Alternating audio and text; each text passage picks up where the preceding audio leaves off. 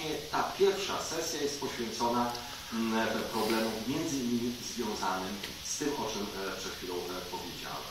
Problemy i wyzwania stojące przed historykiem, który e, pracuje nad wystawą narracyjną.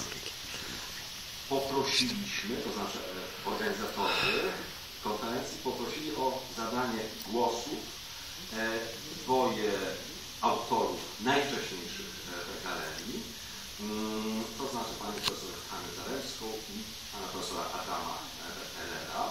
W takiej kolejności wystąpią. E, ja nie będę przedstawiał uczestników, ponieważ w tym gronie wszyscy ich doskonale znamy. Chciałbym tylko powiedzieć, że profesor Zaręcka w czasie, gdy pracowała nad e, wystawą Pierwsze Spotkania, czyli tą galerią e, średniowieczną, pracowała również nad swoją książką w średniowiecznej Polsce i Mina Krakowska. Książka ukazała się w wersji 2011 roku, a dwa lata później ukazała się w e, wydaniu niemieckim. W związku z czym równolegle pracowała nad dwoma projektami i myślę, że e, dzisiaj o tym wspomni, w jaki sposób praca w muzeum interferowała albo inspirowała, tak również e, ją do tego, do swojej pracy naukowej.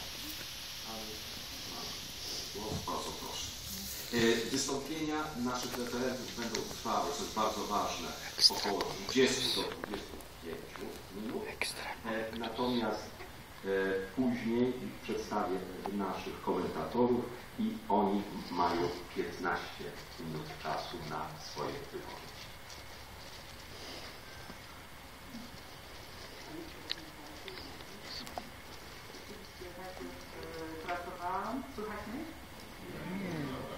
Jako tako.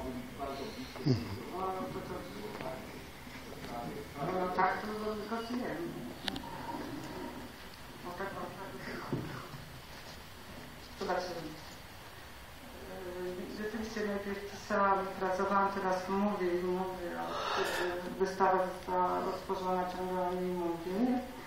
Ale dziś chcę powiedzieć troszeczkę inaczej dziś spojrzeć na galerię jako na produkt pracy historyka, mediewisty, świadomego zasad własnego warsztatu, badacza od lat zajmującego się historią Żydów.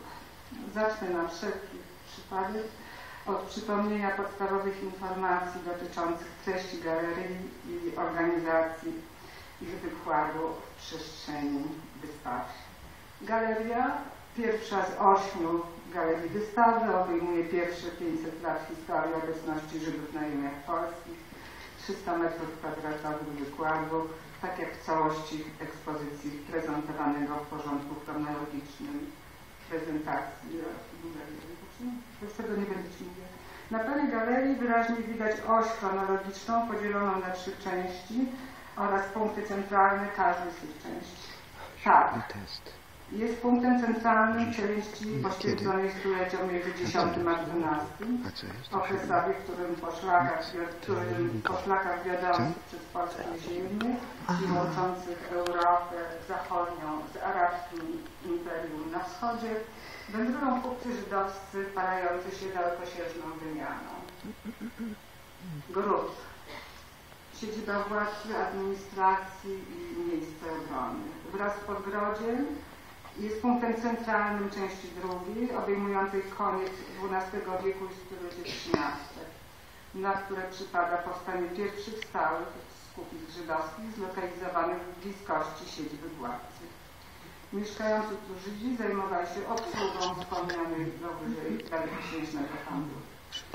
A po jego ustaniu wspierali władców i członków elity państwowej w działaniach wymagających znajomości zasad gospodarki Stulecia XIV-XV obejmuje okres powiązany z napływem Żydów w ramach kolonizacji na prawie niemieckim, czasy, gdy Izraelici staje się częścią społeczności miasta. Centralnym punktem jest tu żydowska gmina miejska. Każdy z podokresów wymagał przedstawienia szczególnej dla niej problematyki. Została ona omówiona w odpowiednim chronologicznym miejscu galerii.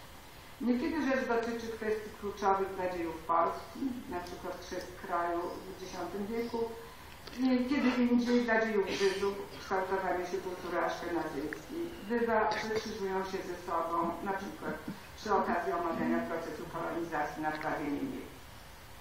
Grono zwiedzających muzeum, mówiła o tym Barbara Kiszenblatt, jest niezwykle zróżnicowane pod względem wieku, wiedzy, motywacji, yy, możliwości percepcji. W pracy staraliśmy się o nikim nie zapominać. Dziś jednak mówić będę, jak wspomniałam, nie do anonimowych gości, lecz do osób szczególnie zainteresowanych żydowską historią, także do specjalistów oswojonych warsztatem historycznym badaczy, zajmujących się dziejami Żydów.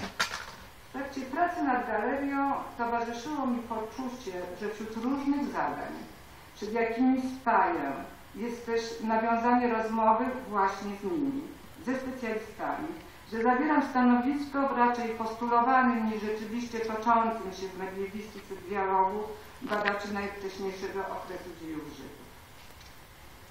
Że wypowiadam się w sprawach podstawowych dla zrozumienia tych dziejów. Wracam przeto do tego nieco romantycznego marzenia o roli muzeum jako centrum debaty. Chcę odpowiedzieć na pytanie, czy raczej ledwie zarysować w ciągu 20 minut, jakie dostałam, odpowiedź na pytanie o możliwości uznania muzealnej ekspozycji jako głosu w tej wyimaginowanej naukowej wymianie myśli. Nie idzie przecież o to, by odnaleźć swój portret na wystawie, choć znaczenie muzeum w pogłębianiu tożsamości